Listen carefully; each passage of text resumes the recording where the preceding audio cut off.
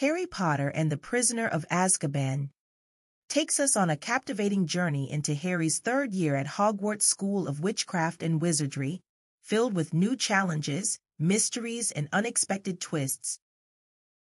As the story begins, Harry is once again at the Dursleys' home, enduring a difficult summer. Soon, he learns about the dangerous prisoner, Sirius Black, who has escaped from the wizarding prison of Azkaban and is believed to be after him. The wizarding world is on high alert, especially since Black is thought to have betrayed Harry's parents to Lord Voldemort. On the Hogwarts Express, Harry and his friends, Ron and Hermione, encounter Dementors, soul-sucking creatures guarding Azkaban. The experience leaves Harry faint and traumatized, foreshadowing a recurring theme throughout the book. At Hogwarts, the students are introduced to new characters, including the enigmatic Defense Against the Dark Arts professor, Remus Lupin. The school year unfolds with the trio facing challenging classes, magical creatures, and the Quidditch season.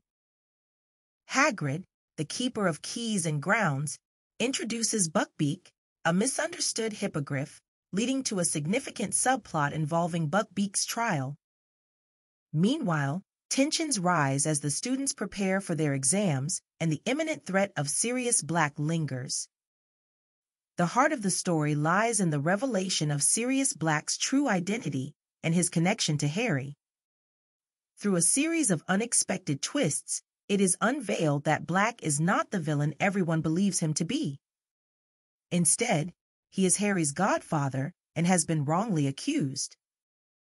The real traitor is revealed to be Peter Pettigrew, who framed Black for betraying the Potters. The climax unfolds in the Shrieking Shack, where Harry, Ron, Hermione, and Professor Lupin confront Pettigrew and the truth about the events that led to Harry's parents' demise.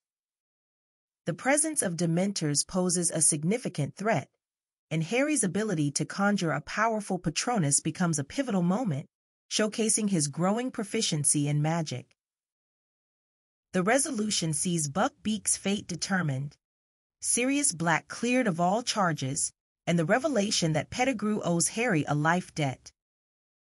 The book ends on a bittersweet note, with Sirius on the run and Harry looking forward to the summer, knowing he has a family connection that extends beyond the constraints of blood. Harry Potter and the Prisoner of Azkaban not only deepens the overarching narrative of the series, but also explores themes of loyalty, friendship, and the impact of the past on the present. The characters mature, facing challenges that reflect the complexities of the wizarding world and setting the stage for the darker events that await in the subsequent books.